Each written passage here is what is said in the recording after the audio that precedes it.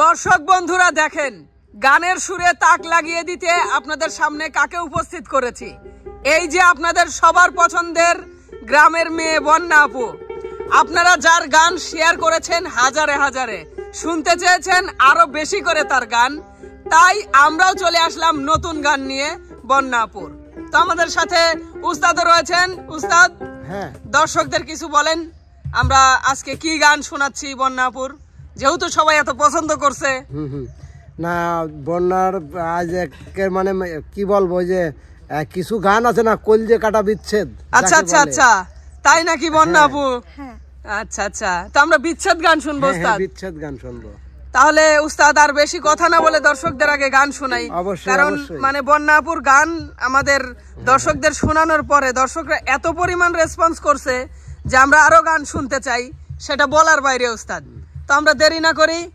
বন্যা আপু হ্যাঁ। দর্শকদের কিছু বলো।